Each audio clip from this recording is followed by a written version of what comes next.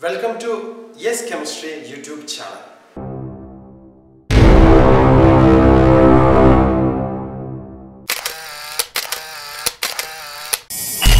In today's video, I'm going to uh, explain you about the scholarships or fellowships that is uh, available for Indian students in India for their postdoctoral research. So in this video, I'm going to explain you two important postdoctoral fellowships that is uh, available in India. So ഇന്നത്തെ വീഡിയോയിൽ post doctoral പഠിക്കാൻ ആഗ്രഹിക്കുന്ന P H ഡിക്ക് ശേഷം post doctoral പഠിക്കാൻ ആഗ്രഹിക്കുന്ന ആളുകൾക്ക് ഇന്ത്യയിൽ സ്കോളർഷിപ്പോട് കൂടി അല്ലെങ്കിൽ ഫെലോഷിപ്പോട് കൂടി പഠിക്കാനുള്ള അവസരങ്ങൾ വിശദമാക്കുന്ന ഒരു സീരീസ് ആണ് അതിൽ ഇന്നത്തെ വീഡിയോയിൽ ഞാൻ രണ്ട് പ്രധാനപ്പെട്ട ഫെലോഷിപ്പുകളാണ് നിങ്ങൾക്ക് വേണ്ടി പരിചയപ്പെടുന്നത് ഏറ്റവും ആദ്യം ഞാൻ പറയാൻ പോകുന്നത് science and engineering research board എന്ന് പറയുന്ന S E R D S E R ബിയുടെ എസ് സി ആർ ബിയുടെ നാഷണൽ പോസ്റ്റ് ഡോക്ടറൽ റിസർച്ച് ഫെലോഷിപ്പിനെ കുറിച്ചാണ് അല്ലെങ്കിൽ എൻ പി ഡി എഫ് എന്ന് പറയുന്ന എൻ പി ഡി എഫ് എന്ന് പറയുന്ന ആ ഒരു ഫെലോഷിപ്പാണ് നിങ്ങൾക്ക് വേണ്ടി പരിചയപ്പെടുന്നത്.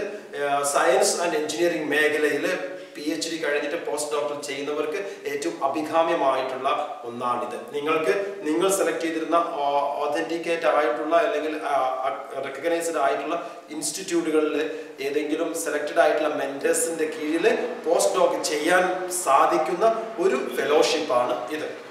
അപ്പൊ ഇതിന്റെ പ്രധാന പ്രത്യേകത എന്ന് പറഞ്ഞാൽ eligibility it is only for Indians ഏറ്റവും ഇമ്പോർട്ടന്റ് ആയിട്ടുള്ള കാര്യം ഇന്ത്യക്കാർക്ക് മാത്രമേ ഇത് അപ്ലൈ ചെയ്യാൻ പറ്റൂ എന്നുള്ളതാണ്. Age limit it is thirty five years മുപ്പത്തഞ്ച് വർഷമാണ്. Thirty five years is the age limit and age relaxation will be available for S C S T and women or physically challenged people അവർക്കെല്ലാം ഇത് age limit അവർ അലോവഡ് ആയിട്ടുണ്ട്. ഇതാണ് ഇതിന്റെ പ്രധാനമായിട്ടുള്ളത്. നിങ്ങൾക്ക് ഓൺലൈനായിട്ടും ഇതിൽ രജിസ്റ്റർ ചെയ്യാം. ഓൺലൈനായിട്ട് നിങ്ങൾക്ക് ഇത് അപ്ലൈ ചെയ്യാം എന്നുള്ളതും ഇതിന്റെ മറ്റൊരു പ്രത്യേകതയാണ്. അപ്പോൾ നമുക്ക് ഇതിന് വേണ്ട ക്രൈറ്റീരിയാസ് എന്തൊക്കെയാണ്? അല്ലെങ്കിൽ എങ്ങനെയാണ്? ഏതൊക്കെ ഡോക്യുമെന്റ്സ് ആണ് ഇതിന് വേണ്ടതെന്ന് നോക്കാം. നമ്മൾ ഒരു ബയോഡേറ്റ നമ്മുടെ തന്നെ ഒരു ബയോഡേറ്റ ഇതിന് കൂടെ അപേക്ഷിക്കേണ്ടതുണ്ട്. അല്ലെങ്കിൽ അപേക്ഷിക്കുമ്പോൾ സമർപ്പിക്കേണ്ടത് we have to submit a biodata of our self and already they given a format for all these whatever the document they required they already given a format for us so we have to to fill the document details in that format and we have to submit. അതിലൊന്നാണ് biodata of our self കാൻഡിഡേറ്റിന്റെ biodata വേണം.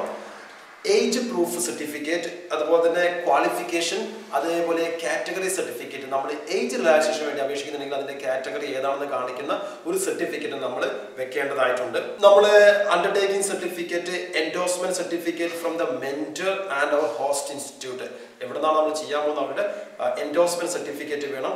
Short C V of the mentor and C V of the mentor രണ്ടിന്റെയും format is already given അത് നമ്മൾ അത് നോക്കിയിട്ട് fill ചെയ്ത് കൊടുക്കണം മെന്ററുടെ ഡീറ്റെയിൽസ് ഇനി ഇതിൽ ആരൊക്കെ അപ്ലൈ ചെയ്യാന്ന് വെച്ചാൽ whoever completed their P H D M D or M S they can apply for this and it's also applicable for the students who already completed the P H D and submitted their thesis that means waiting for the result. They can also apply for this. Only one condition is that once they got the pass certificate then only they can uh, they will uh, get the complete grant or fellowship what they are offered ഇനി നമുക്ക് ലഭിക്കുന്ന fellowship അല്ലെങ്കിൽ grand എത്രയാണെന്ന് നോക്കാം. ഇതിന്റെ budget എന്ന് പറയുന്ന fellowship fifty five thousand per month ആണ്. അതായത് കൺസോൾട്ടേറ്റ് ആയിട്ട് നമുക്ക് അവർ തരുന്നത്.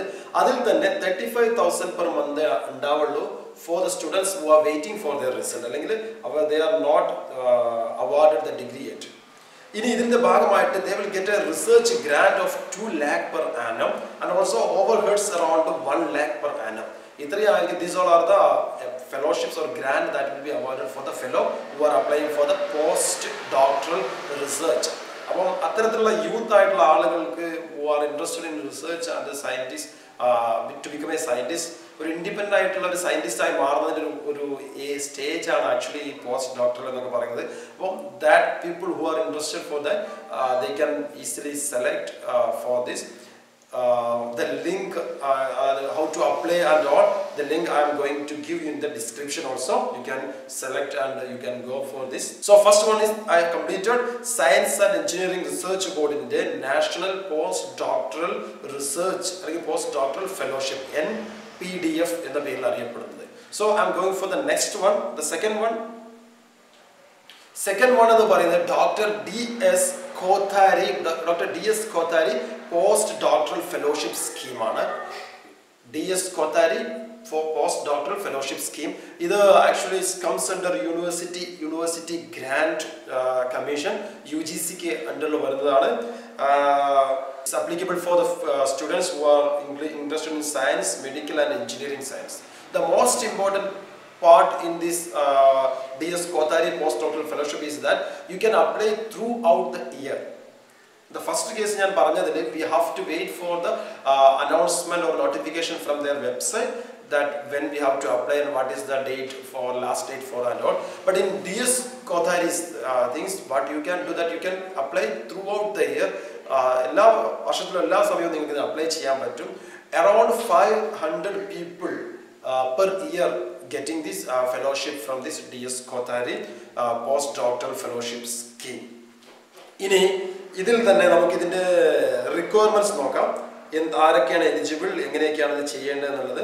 സെയിം സെയിം ലൈക്ക് അത് above or the previous one thirty five years ആണ് ഇതിന്റെ ഏജ് ലിമിറ്റ് എന്ന് പറയുന്നത്. Before the maximum age is thirty five and also same age relaxation is applicable for S C S T O B C physically challenge and woman candidates അവർക്കെല്ലാം age relaxation available ആണ്. കൂടാതെ what have to while we are submitting the application even we can submit this through online. Some while submitting we have to do a summary of our uh, phd work and summary of the proposed research and uh, we have to submit the details of the host institute and the mentor's cv mentors mentored cv only we have to submit while applying for the uh, fellowship. Uh, then what is the grant available for this? Let's check, uh, check uh, normal fellowship. Uh, actually, they are giving in two categories: normal and higher fellowship. In normal fellowship, what they give uh, for the first year, they will give forty-seven thousand per month. Uh, then the second year, we will give forty-nine thousand. Then the third year, it will be fifty-four thousand per month. And in the case of uh, higher fellowship, throughout the three years, uh, we will get, or the successful candidate will get fifty-four thousand per month and contingency grant is uh, 1 lakh per annum uh, for the success, uh, successful candidate. How to apply? We can apply through online. We have to submit all the data what they requested like CV and uh, our previous our uh, PhD's details, and then the proposal project details, mentor detail, then the host institute detail. In this case, here what is the ma- major condition is like we cannot do this postdoc research in IIT, DRDO or DAE institutes. We can do in the other recognized uh, institutes or laboratories. So it, ഇത്രയാണ് നമുക്ക് ചെയ്യാൻ പറ്റുന്ന ലാബുകളും കാര്യങ്ങളും I'm giving the details like website address and everything in the description in so many other uh, scholarships or fellowships are also available for postdoctoral and PhD students that I am going to give you in the coming videos. So just uh, subscribe my channel and like and share with your colleagues who are will be who will be more useful or it will be useful for them. So thank you. Thanks for watching. Bye.